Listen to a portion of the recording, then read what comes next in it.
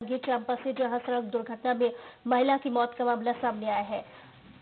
Hydra की टक्कर से साइकिल सवार महिला की मौत हो गई है। आक्रोशित लोगों ने चक्का जाम कर दिया। पुलिस लोगों को समझाने की कोशिश में जुटी हुई है, क्योंकि स्थानीय लोगों ने जमकर इसका विरोध करना शुरू कर दिया है। कोतवाली थाना क्षेत्र के बिरगहनी सौद रोड की यह घटना बताई जा रही है।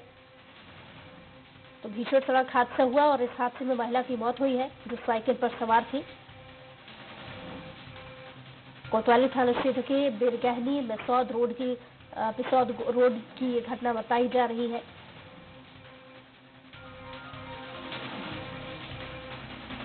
हाइड्रा की टक्कर से साइकिल पर सवार महिला की मौत हो गई है।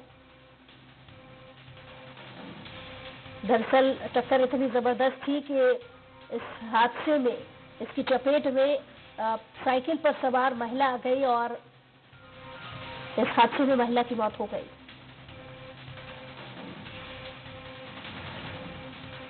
तो बड़ी खबर आपको बता रही है भीषण सड़क हादसा हुआ। ज़्यादा जानकारी के साथ स्वरा संघ रवि गोयल फ़ोन लाइन पर जुड़ गए रवि हादसा कैसे हुआ? जी रवि। रवि, सुन पा रहे हैं आप हमें?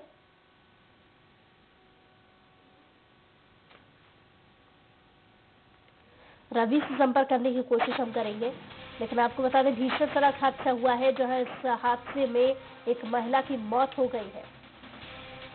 और हादसे के बाद स्थानीय लोगों ने आक्रोश जताना शुरू कर दिया, लंबा जाम लगा दिया, लिहाजा पुलिस द्वारा समझाइश दी जा रही है।